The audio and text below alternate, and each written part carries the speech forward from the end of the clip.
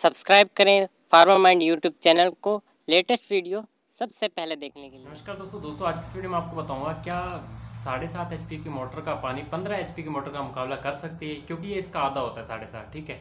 दोस्तों, ऐसा होता है कि साढ़े सात एच की मोटर का पानी पंद्रह एचपी का मुकाबला कर सकता है। ये उसके मॉडल पर डिपेंड करता है, ना कि एचपी पर।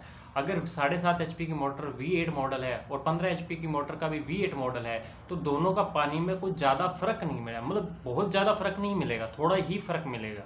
पर जो लोड है लोड में थोड़ा सा वी जो पंद्रह एच की मोटर है, वो थोड़ा लोड ज़्यादा लगेगी थोड़ा सा पानी ज़्यादा निकालेगी। पर ऐसा नहीं है कि बहुत ज़्यादा फ़र्क होगा, जैसे कि साढ़े सात और पंद्रह, करीबन डबल मान सकते हैं। डबल है तो पानी का भी डबल होगा। नहीं, ऐसा नहीं होता दोस्तों।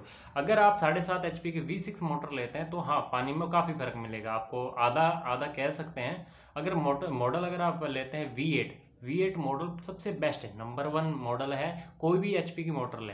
अगर पंद्रह एच की मोटर ले वी एट तो उसमें थोड़ी सी बात का ध्यान रखिए। अगर आपके एरिया में वोल्टेज की कमी रहती है तो ना लीजिएगा। दस एच और साढ़े सात एच ले सकते हैं, कोई दिक्कत नहीं वी एट मॉडल में। बस पंद्रह के वी एट मॉडल तभी लेना कि अगर आपके एरिया में जो वोल्टेज है वोल्ट मीटर का उससे वोल्टेज आप चेक कर सकते हैं। वोल्टेज अगर पूरी रहती है 400 या 380 390 रहती है कम से कम तो ही लेना। नहीं तो क्या है मोटर का लोड ज़्यादा बढ़ जाएगा लाइट का बिल ज़्यादा आएगा, खर्चा बहुत हो जाएगा। भी पैसा भी थोड़ा स्टार्टिंग में ज़्यादा लगेगा और बाद में बिल भी ज़्यादा है तो इस बात को विशेष ध्यान रखिएगा कि मोटर खरीदते समय मॉडल सबसे ज़्यादा डिपेंड करता है। तो यही बात बताना चाहता था कि भाई साढ़े सात एच का मोटर पंद्रह एच का मुकाबला कर सकती है तो कोई ज़्यादा फ़र्क नहीं मिलेगा।